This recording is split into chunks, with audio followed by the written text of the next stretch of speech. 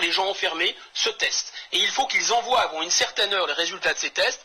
Alors si jamais ils sont en retard dans l'envoi, si le test est positif, ou si, pire encore, ils ne veulent pas envoyer le test, la police arrive, enfin la police ou des gens qui sont chargés de la sécurité sanitaire, et ils cassent la porte, et ils entraînent les gens de force dans des camions, et ils les envoient dans des camps de quarantaine, mais qui sont apocalyptiques, c'est-à-dire des camps absolument insalubres. La nuit, ils ne pouvaient pas dormir, il y a de la lumière, etc. C'est à peine croyable.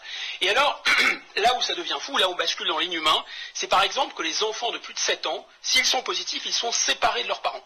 Le consul de France a été obligé d'écrire à, la, municipalité pour dire d'arrêter. Bien sûr, il attend la réponse. Les animaux de compagnie, des gens positifs, sont tués sur le champ, dans la rue.